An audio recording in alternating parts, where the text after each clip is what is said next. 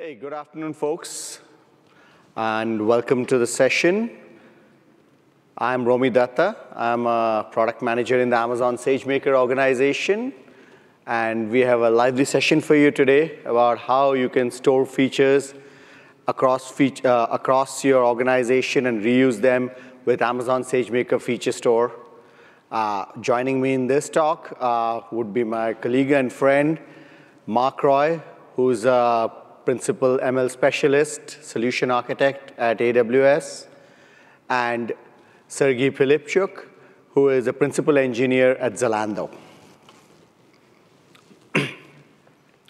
We're going to learn about feature engineering and some of its challenges. We're going to learn about Amazon SageMaker Feature Store. I'll provide an introduction. Mark will provide a deep dive and demo. And then Sergey will come up out here and talk about how Feature Store is being used in Zalando to speed up their ML operations and in their business use cases. To understand feature engineering and feature store, let us look at a very basic flow outlining the machine learning end-to-end -end flow. It starts with a raw data, which will be in your data warehouse or an object store like S3 you would take that data, do some wrangling, do the transformation on the data to create features which are usable for machine learning, train a machine learning model. Once that model is trained, you would that, deploy that model to an inference endpoint to generate predictions.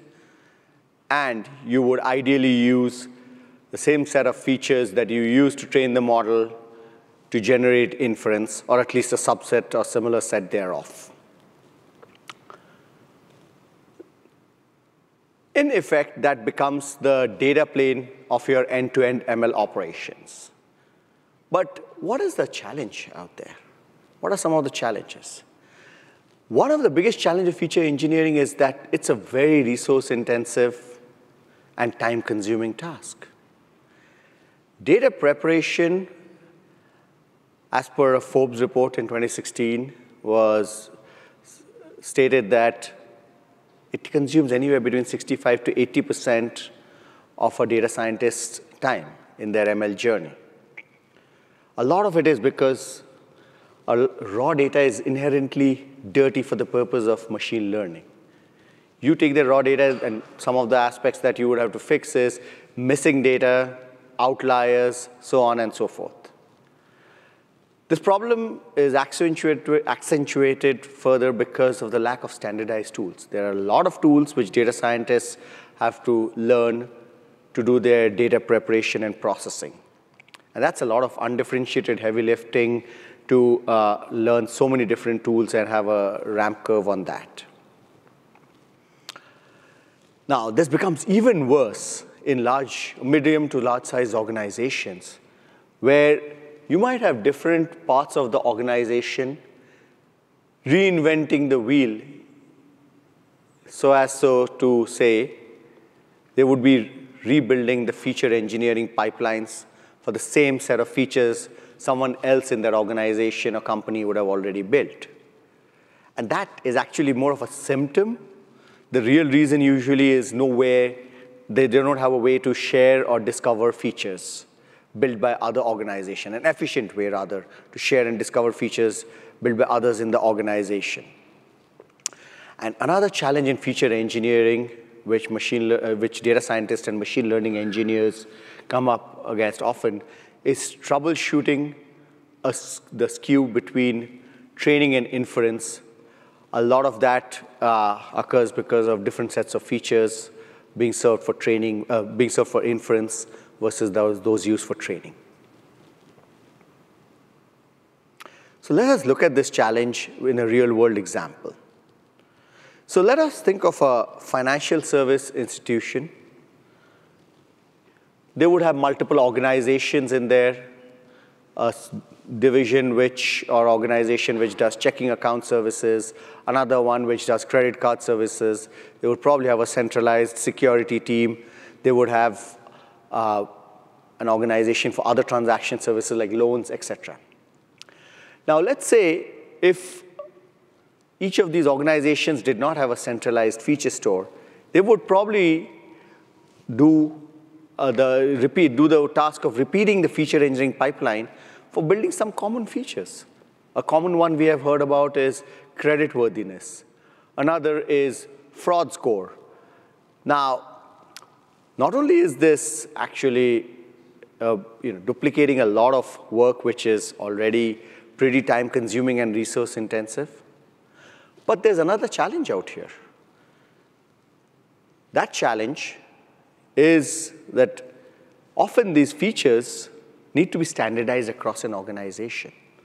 Things like creditworthiness or fraud score for an individual ideally should not be calculated in different ways within a bank. It should have be a standardized way to do that. Now, with SageMaker Feature Store, you would actually generate these features exactly once. So going back to the same financial service institution, each of these organizations like checking account services or credit card services would have specific features for their customers before they, uh, which they want to use for their machine learning predictions. Before they go about building such features, they can go to a centralized feature store, search for any such features, and reuse any of those features that are available.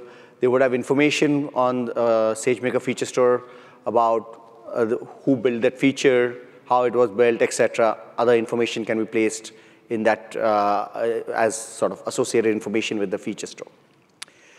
So someone like a say centralized security organization might be the one who determines the fraud score for all customers across that bank. Well, the checking account service or credit card services divisions would come in out here, come to the centralized feature store, SageMaker feature store, search for fraud score feature, and they might even find two or three different fraud scores in case someone had redundantly built one, but they would want to use the right one, which is the one built by the centralized security team.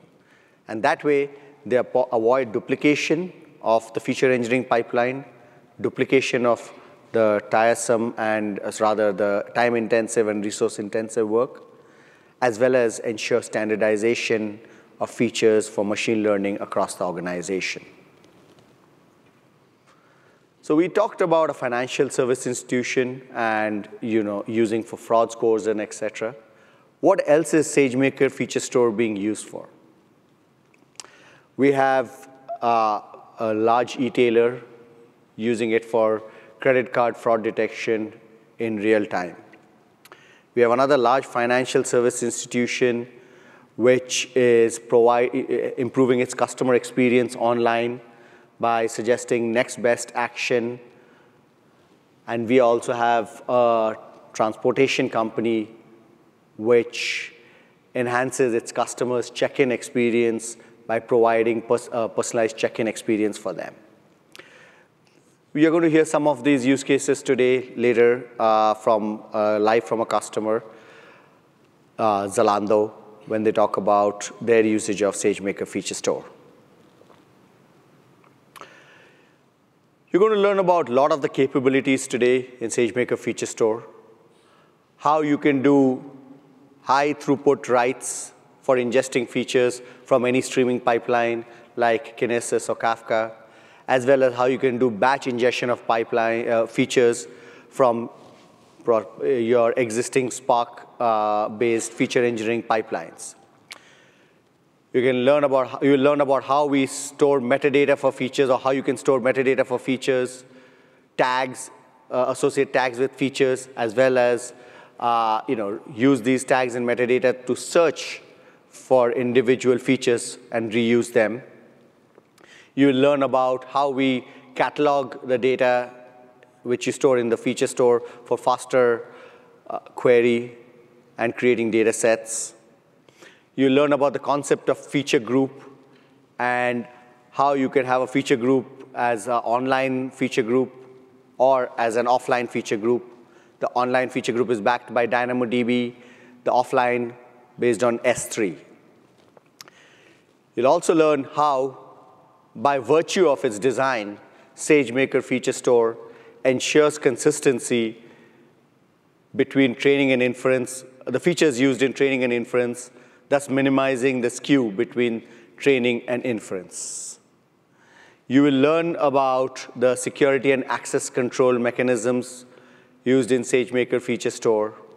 And also you learn about how to serve inference predictions or features for inference predictions with very low latency. How low? It can be as low as up to single digit milliseconds, depending on the payload size. So with that, let me hand it over to my colleague, Mark Roy, for a deeper dive and demo of SageMaker Feature Store. Thanks. Can you take it back? Hello. How's everyone doing on day four of reInvent? Uh, I think um, there's the clicker. Thank you. Uh, they blessed us with day four in the afternoon, and uh, all of you are here, so you must really, really want to learn about Feature Store. So I'm excited to be here. Uh, my name is Mark Roy. I'm an ML architect at AWS. Uh, I've spent uh, over the last four years working with SageMaker. I spend most of my waking hours helping companies try to scale ML and find ways to, to build better models faster. And uh, over the last couple of years, I've worked with over 100 companies uh, adopting feature stores. So why is it uh, that so many companies are, are interested? Uh, a couple of big reasons. Uh, one, uh, they're looking at speed and accuracy of transactions, so online transactions. They've got personalization or fraud detection. Uh, they're betting their business on some really important ML models.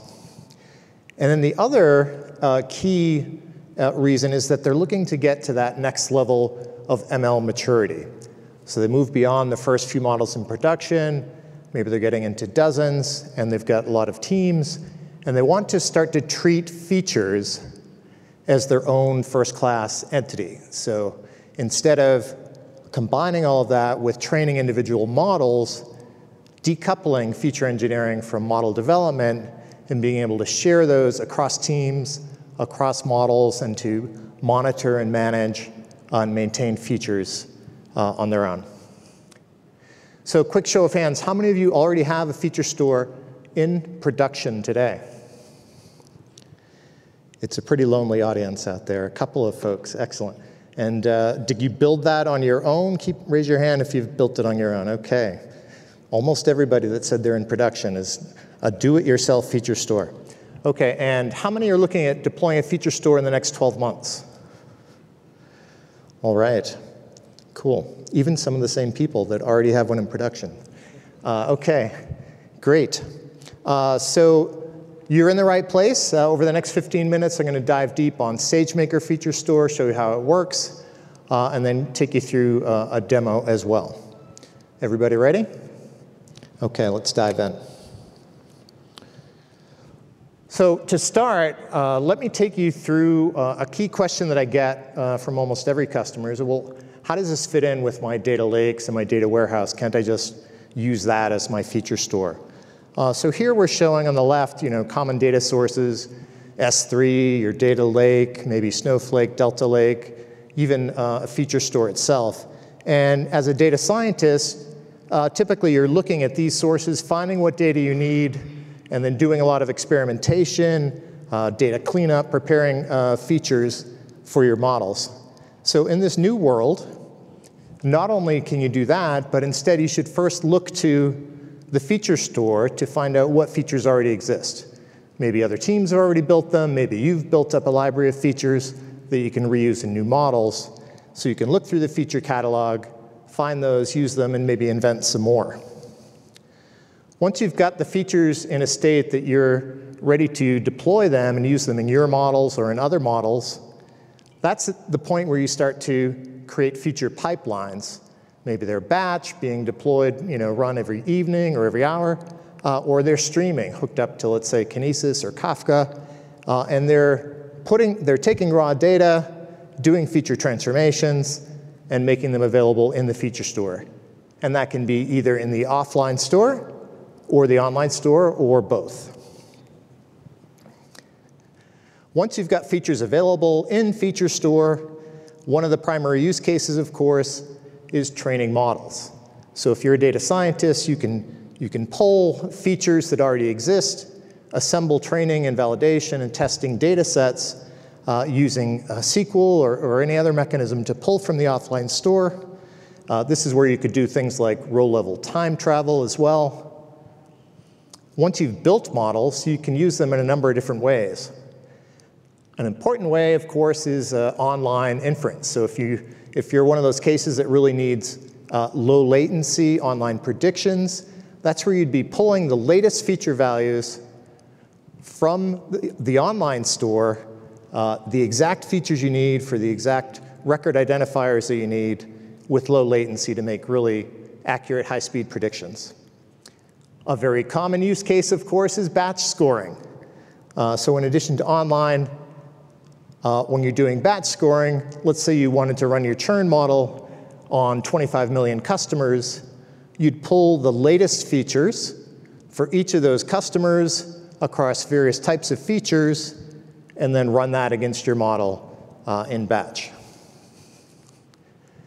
Of course, when you're done with inference, you might want to save those results back into your data lake or into your data warehouse, or maybe even back into the feature store itself. And this can influence future model uh, training uh, or feed downstream applications uh, or analysis, maybe some BI capabilities. And then lastly, monitoring. So you've got a feature store using those across all kinds of models and teams. You now have the ability to Look for feature drift detection, uh, for example. And you can find, do whatever analysis you want uh, across those features, and importantly, lineage. So now you can either look from left to right in this diagram or from right to left to find out dependencies. How did I make that prediction? I used this model. What did that model get built with? These particular features, and where do those features come from? These data sources. And then in the other direction as well, if you're changing features, you might want to find out, well, where's the impact going to be? What models am I going to be impacting? So uh, this gives you uh, kind of the core capabilities and how SageMaker Feature Store gives you a purpose-built way to, to build and manage your, your features over time. Okay, the next key concept is materializing features, and these don't happen all at the same uh, cadence. So typically what we see is the most common case is overnight batch features. Here you've got a lot of data sources that maybe are only refreshed daily. Uh, maybe this is a good cadence for uh, looking at aggregate features that look back over longer time periods, like a week or a month or a year. So in a fraud detection use case, for example, we might have a batch job that runs every night, and for each card, credit card, it's looking at what is the total number of transactions on that card and the average purchase amounts uh, over the past month, let's say. So if you're going to do a fraud uh, detection, that's not enough. You need to use those features, but you also need to know what's happening in near real time. So what I'm showing here is hooking up to Kafka on the stream of transactions and doing aggregations that cover the last 10 minutes. So now I've got how often is this card being used recently, how often was it used historically, and I can compare those and that can be a signal into a, an online fraud model. So what happens is the fraud model is able to pull whatever features it needs across various feature groups in near real time at very low latency at high throughput. Also, as these features get updated, you can automatically keep the history of those features in the offline store. So that can be used for future retraining or for training new models as well. Uh, so Romy mentions this uh, earlier, feature consistency uh, with the online and the offline store.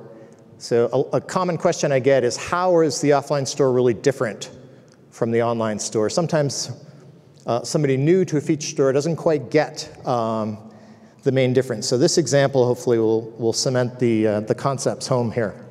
So let's say we've got customer features. We're going to put in a feature record for each of three different customers, time T1, T2, T3. And then at time T4 and T5, I'm going to put in a new record for that same customer, customer one. So let's look at the state of the online store and the offline store after this set of calls. In the online store, I can use my fancy laser pointer here. Well, maybe I can't. uh, okay. You can see uh, the customer ID one in the online store. It's showing 0.5 as the latest feature value. And it was from time T5. Every feature has an event time. Uh, okay, so the online store has the latest values and they're available uh, immediately. The offline store, in contrast here, has the full history. So you can see for customer ID 1, you can see where it was at time T1 and T4 and T5. So why is that interesting? Uh, the main reason is that you really need some different implementations in order to meet the differing requirements. If you want high-speed lookups, you've got DynamoDB in the back of the online store to get single uh, or, or small sets of records at a time. The offline store is more optimized for bulk retrieval for batch scoring, as well as time travel for doing training data sets.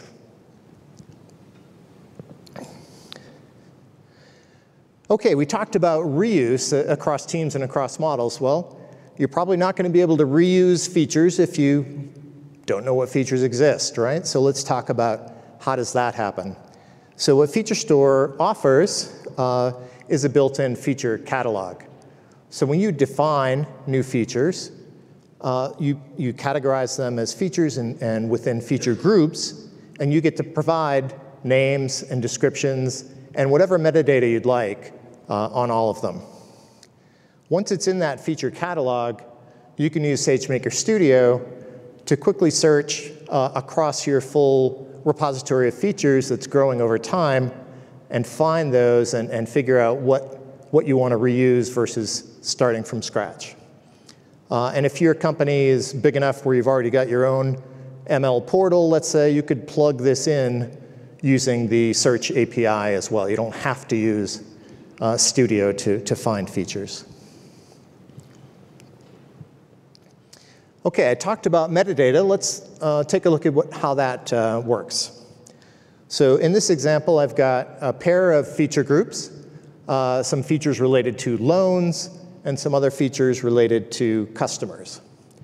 Uh, so I've got to name them, I can define their data types and so forth. Uh, but in addition, you get to define uh, the description for the feature group and define whatever metadata you'd like. Here we're, we're tagging uh, authors, uh, the, the team that built it, maybe the stage of development that it's at, uh, and so forth. In addition, at the feature, individual feature level, you can do the same thing. Whatever metadata tags you'd like to put in there, uh, here we're adding a sensitivity tag. So you can define some features uh, have a higher sensitivity than others, and maybe you manage security that way.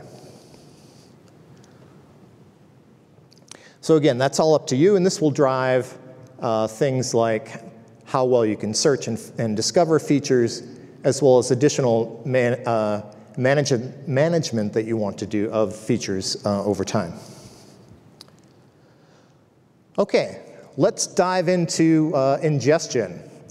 How do you get features into the feature store? Well, at the very lowest level, there's a put record API.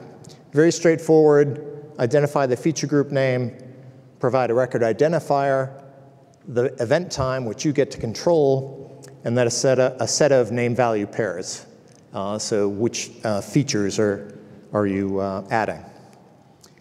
In addition, so that's one record at a time. Uh, when you're needing to ingest, you know, hundreds or millions or tens or hundreds of millions of, of records, you're typically wanting to do that in bulk. So there's a Python SDK that will take a pandas data frame and let you ingest that whole thing uh, at once. Uh, or if you're using a Spark environment, you can take a Spark data frame and ingest that in its entirety as well.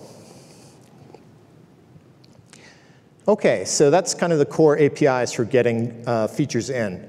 Let's look at how you automate feature pipelines, right? So this is code, if let's say you were in a notebook uh, experimenting, just putting some features uh, on your own, this is what you would use. But you'd also want to automate that to deploy these in your production environments.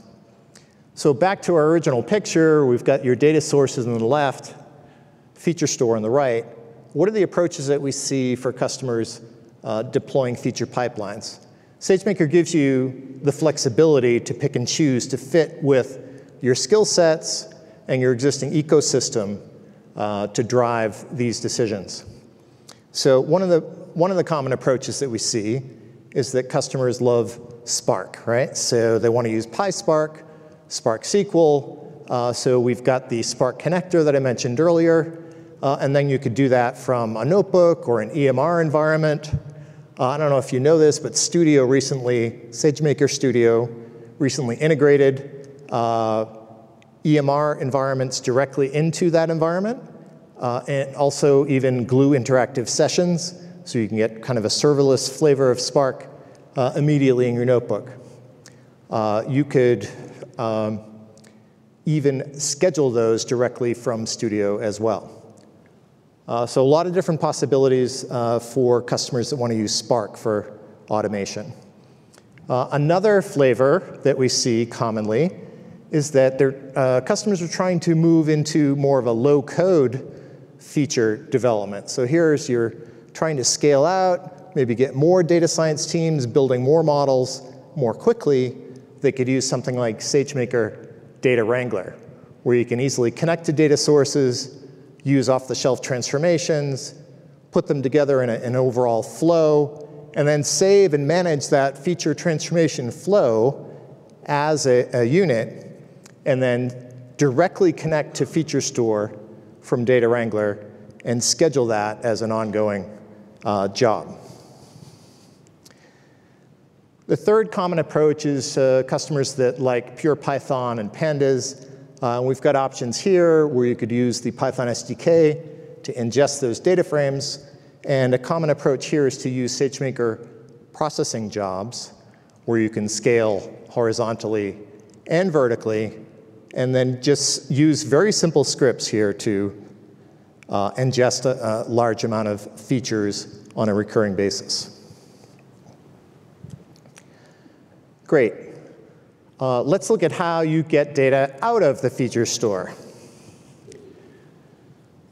So when we talk about the offline store, uh, we're, we're, basically, as Romy mentioned, we're talking about an S3 bucket in your account, uh, and we're storing partitioned Parquet files out there, uh, but you don't really have to worry about that. What we do is we offer a way to automatically make these available as tables uh, in a Glue catalog, uh, we're coming up with other formats as well, but basically you can just see your feature groups uh, as tables and then use SQL uh, to make queries. So here I'm saying select a various set of features, and maybe a label uh, from a feature group, or you could join across feature groups, uh, generate your training data sets and use them to build your models.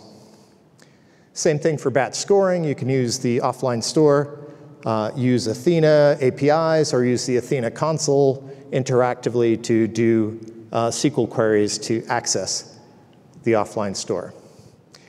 Now, importantly, uh, this is where row-level time travel will happen. So if you've got a long history of all of these features over time, you've got a set of events that you're trying to train against, you need to make sure you get the accurate set of features and that would be done using uh, a SQL interface or some helper libraries as well. So that's getting data out of the offline store. What about the online store? So here we've got some very simple APIs that work with low latency and high scale, high throughput. So get record, uh, you give it the feature group that you're looking at, exactly which, uh, which record identifier you want, and you either get back the whole set of features for that record, or you can pick a subset. You might have a very large feature group with 2,000 features in it, but your model might only need 10 of them. You can say, I want these 10 features. Now, the opposite case is true. You might have five different feature groups that have features that are needed for one prediction. You can get up to 100 different records at once with a single call. Uh, in this example, uh, from the customer feature group, I'm getting three different customers and two different features for each of those. And then I'm also pulling records from the product feature group, uh, two different products and two different features there. So with one call, I can get back all of those and then pass those on to make a model prediction. So again, these operate at low latency and high throughput for those kinds of applications that really demand uh, you know, high-speed uh, predictions. Okay, the last thing before we turn over to a quick demo uh, is a few inference patterns. So I just showed you APIs for doing feature lookups. How are those used in practice. So the simplest way to use it, you've got an application, maybe it's a website, a mobile app, needs to make a prediction, needs to do it in a hurry. so they know uh, what the model needs, so they go to the online feature store, call get record or batch get record, take those features, pass them to the model endpoint to make a prediction. Pretty simple, right? Uh, it works quite well. Uh, so the benefit is the simplicity. The drawback here is that your application knows exactly what the model needs. So what happens when the model changes and adds 10 more features? Well, the application needs to change. So a way to uh, improve this is pattern number two. So here we've got endpoint-based feature lookup. So same sort of scenario here. You've got the application, the endpoint, and the feature store. But in this case, the application just says, here's the customer ID that I want to make this prediction on. In the inference endpoint, you know exactly what the model needs, so you go look those up, uh, get the features that you need, make the prediction, pass them back to the application. So the end result is the same, but now you can feel free to evolve the model over time as you see fit all the applications are, are insulated from those changes. And then pattern number three is just a slight variation of that. Uh, and here we're just using SageMaker inference pipelines. So making the code a little bit more modular, you break it up into separate containers that are chained together. The first container is doing the feature retrieval. The second container is actually doing the model prediction and maybe you've got a third container doing some post-processing uh, and, and so forth. Okay, uh, so I've got a choice here. We can either do 25 more slides or we could do a demo. Show of hands. Slides, okay, no. Please hold the questions till the end and uh, we'll, we'll be happy to take them. Okay, now I've got to press the right button and uh, we'll switch to the demo.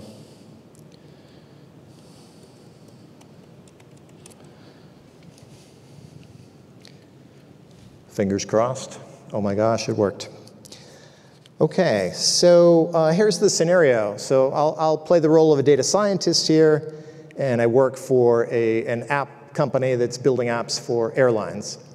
And uh, my latest project is to predict flight delays. So I've been working on some with flight delay data, making some features. I've got aggregate features like how many delays for each flight in the past seven days, things like that.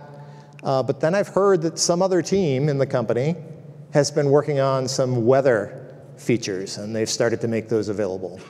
So I want to figure out if that's going to help me uh, with my models. So what I'll show you is how we can discover those features, uh, how we can do time travel and train a model and make some batch predictions.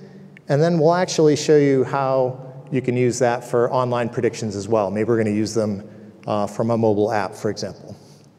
So here I'm in SageMaker Studio. Uh, there's this new SageMaker Home that you, the user interface has been simplified a little bit, so we can look under this data uh, category and I find feature store. So I bring up feature store, I've got a feature catalog, uh, feature group catalog, and I'm interested in kind of wind speed and maybe precipitation, snowfall. So let me just look for uh, snow. Looks like I found some features there. Wind, I've got some more. Let's take, it, take a look at the descriptions here. And if my mouse would work, here we go. So I've got a bunch of different wind features that seem like they might, might be helpful. So I can click on the feature group and yeah, here's a feature group with uh, a dozen or so different uh, weather features that, that look pretty good. It would probably take me a couple of weeks to figure out where that data lives and figure out these features on my own, get them in the right units and remove outliers, all the cleanup. Instead, somebody's already done that work and uh, it looks like they're going to be maintaining it over time as well.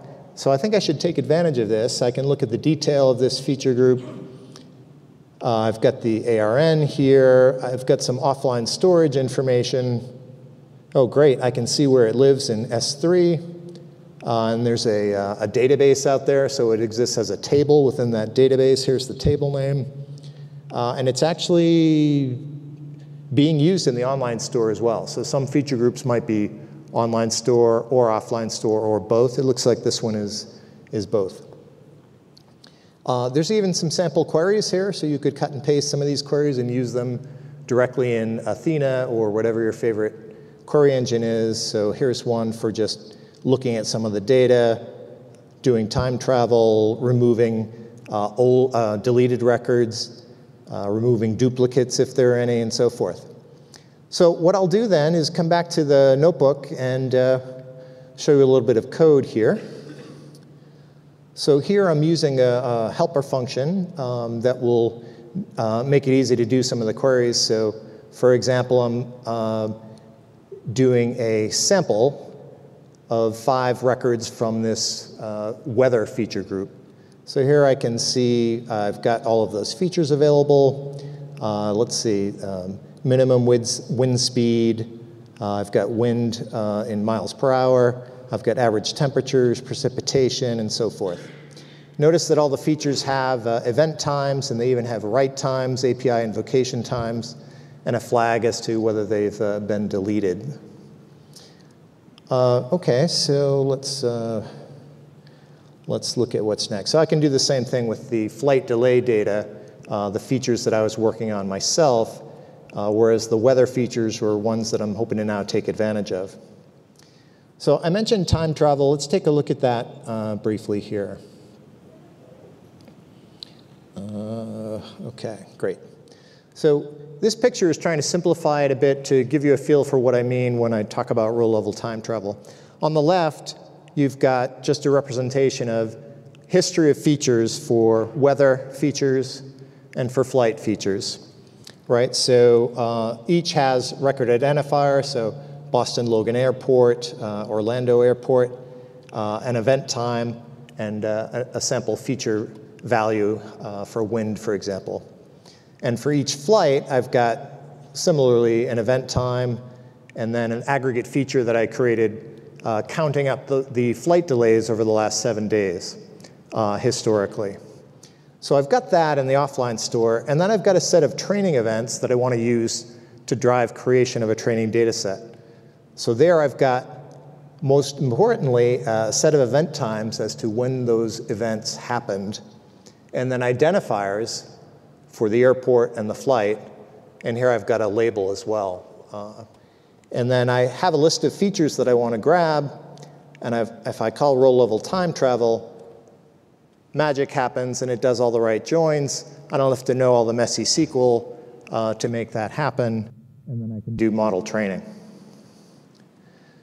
So here's some code where I'm just looking up the set of events that I want to train with. Uh, so I've got 400,000 rows here and a pandas data frame. Uh, and then I've got a, a, helper function here to just get those features. This is basically where row level time travel is happening. I've got all the events that I want to pull. Uh, and then I've got a list of the features that I'm using, and uh, voila. It took the events, so see I can still have, I still have 400,000 rows, but now it's filled in all of the accurate feature values based on the event times uh, across multiple different feature groups. So here I've got no feature leakage where I'm using data that I never would have known about, and I'm also uh, making sure that I don't have to worry about all the messy SQL involved to, to make that happen.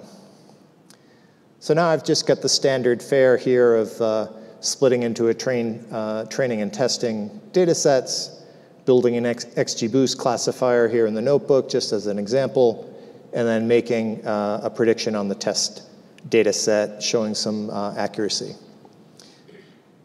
So uh, what about if we're doing uh, batch scoring? So similar process here.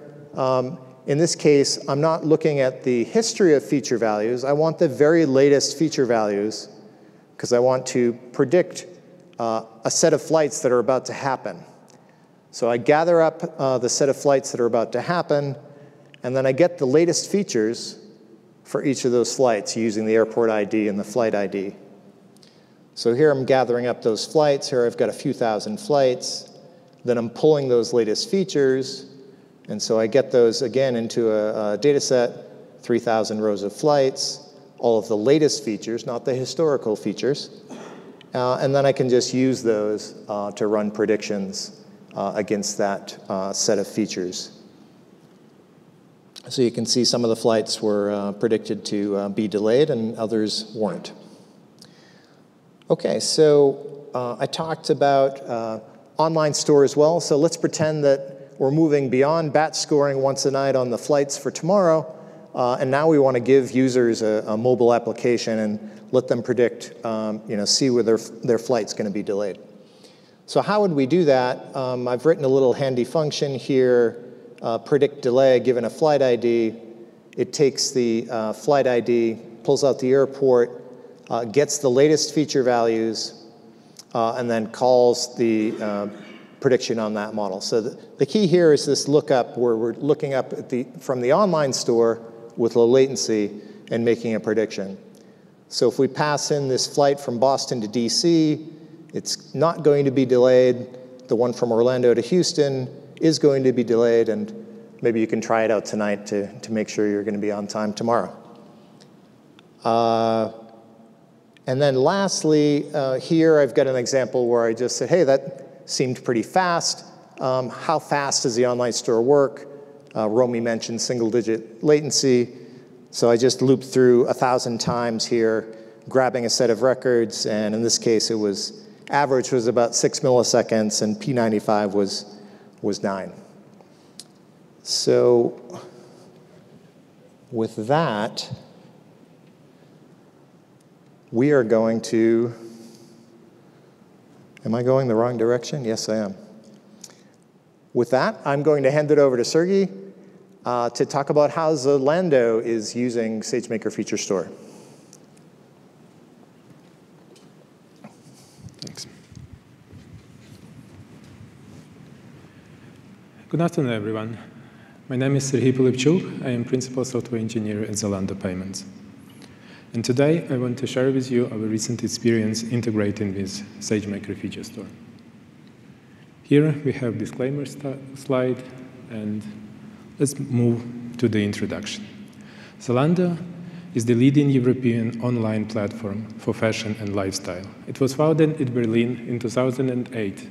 Now we are bringing fashion to almost 50 million active customers across 25 European markets, offering clothing, footwear, beauty, and accessories. As Europe's most fashionable tech company, we work hard to bring digital solution for every step of fashion journey. Our vision is to be the starting point for fashion and sustainable platform with the net positive impact for people and the planet. For example, oops, uh, in payments, we can offer more than 20 payment methods across 25 European countries in their local currency. We strive to make payment experience as simple as possible.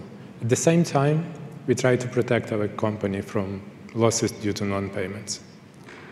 Let's take a look for usual order flow. Our customer browse the catalog, pick items they like, add to the cart. Eventually, they will go to checkout, place the order. Our fulfillment centers will pack the order and then ship to customer. We, as payments, are involved during the checkout, where we provide the most convenient payment methods for our customers. And after the order was placed, we process the transaction and do additional check to make sure we can accept the order. In those two points, we heavily rely our decision on machine learning. A few years ago, when we started build our uh, machine learning products, there were no readily available platforms. So we invested into building our own framework for training and inference. The big chunk of the improvements to our machine learning model came from the feature engineering.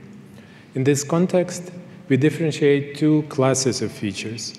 One, which need to change their values close to real time, because we need to react fast on the fraud attempts and prevent them. Another class of features allow us to recalculate their values on some schedule, for example, every hour or every day. Those features we name batch computed features, and today I will focus on our work with batch computed features.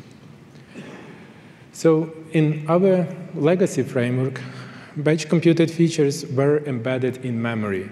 So every request for inference got the features from memory storage, then passed to the preprocessor, and then uh, to the model. That gave us benefits of high availability and close to zero latency. But this in-memory serving came with very high price. Every new feature was slowing down our startup time of our inference service and incre was increasing memory demand. This had led to a situation where our teams were very careful and conservative when it comes to feature engineering and adding new features to the, uh, our system. Second problem was about absence of the feature catalog. Our teams are working in very similar problem spaces, and oftentimes they were coming up with the similar features, but slightly different feature uh, implementation. This has led to double work on the experiments, implementing the feature calculation, feature pipelines. Also, it created additional burden on our inference uh, service, where two different features with different, slightly different implementation, but very similar by the concept, required memory and again slowed the startup. Even though this framework worked for us for years well, but mentioned problem mentioned problems were slowing us down and time to market for feature-related improvements were growing rapidly. So at the beginning of this year, we decided to look around and find better solution for feature, batch feature serving. First of all, we brainstormed a list of the requirements for our replacement. And on top of it, we decided that it should be managed solution where feature serving and any operational problems is taken uh, by team of experts, and we as payments can focus on our core business. The source of features will be used for live purchase inference or evaluation.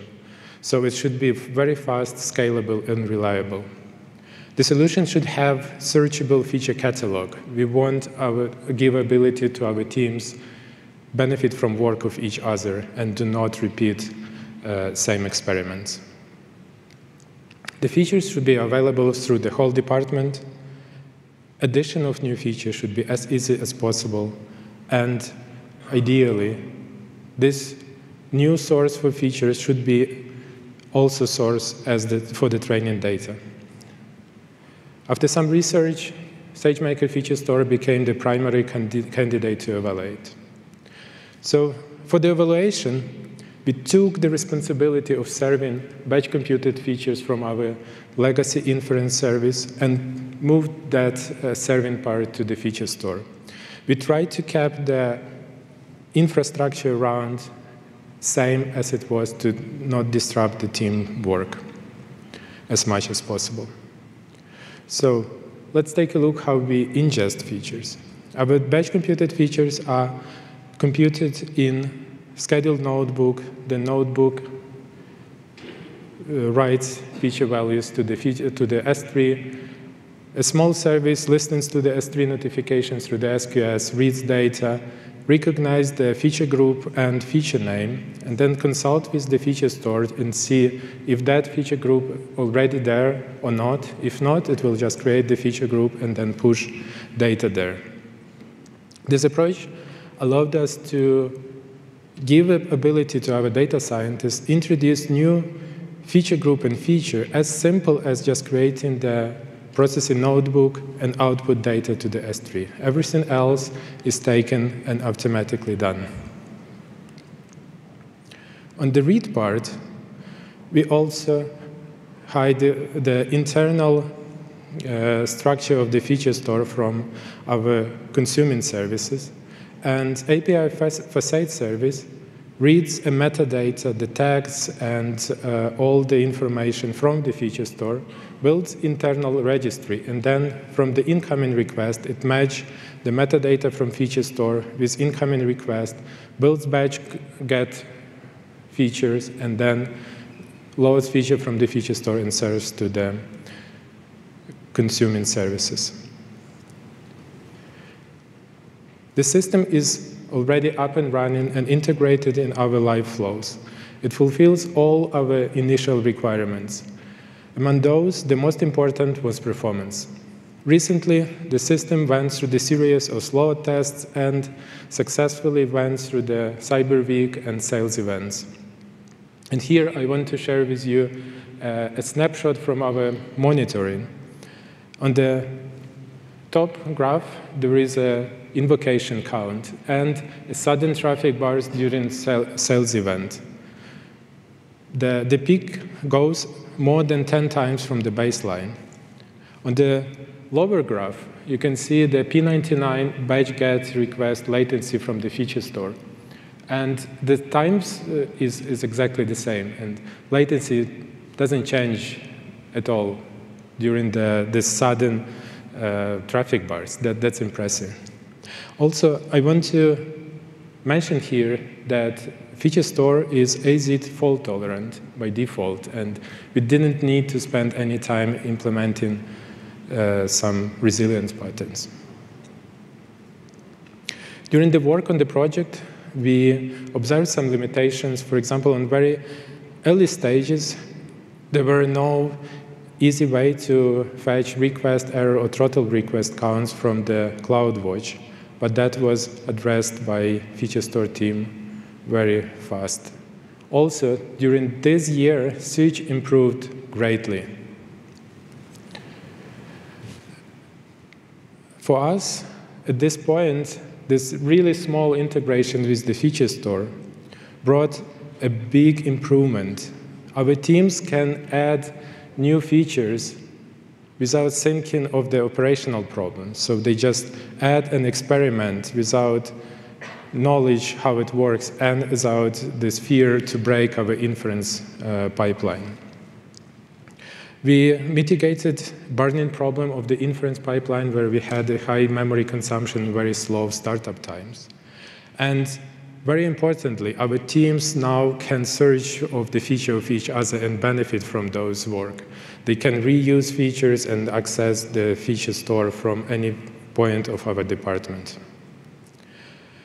And that is just the start of our work with SageMaker Feature Store.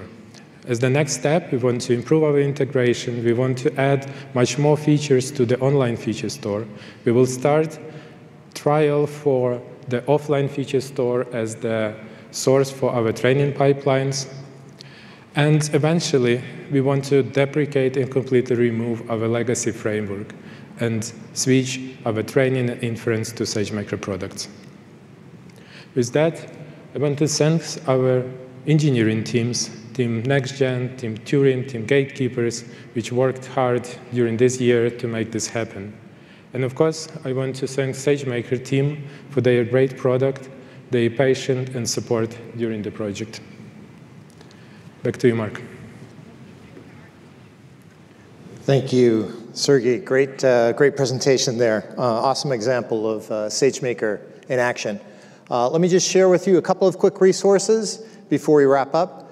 Uh, one that uh, gets a lot of visibility out there to help customers that are really trying to evaluate and get started with SageMaker. it's called our end-to-end -end feature store workshop. It takes you through a lot of what I described today. with sample code, you can just use the GitHub repo, bring that down into your own account, and run through all of these things and get a feel for how you can uh, integrate uh, in your own environment. Uh, there's also uh, a dozen or so uh, blog posts out there, and you'll get a PDF with all of this in there with the links. Um, um, of course, taking a picture of those links won't get you there, but you've at least got some context there to, to do Google search on our AWS blog site. And then Similarly, there's some links to documentation, but you can, you can find those pretty quickly yourself as well. Uh, so today, our session, we, we learned, uh, hopefully you learned uh, a lot about SageMaker Feature Store, how that provides a fully managed environment, uh, so you don't have to build your own feature store, come up with that infrastructure and manage it on your own. Uh, you can easily define and create features uh, and immediately have a low latency online store that's synchronized with an append-only offline store to support training and inference uh, in a robust way. So thank you very much for coming and uh, enjoy the rest of the conference.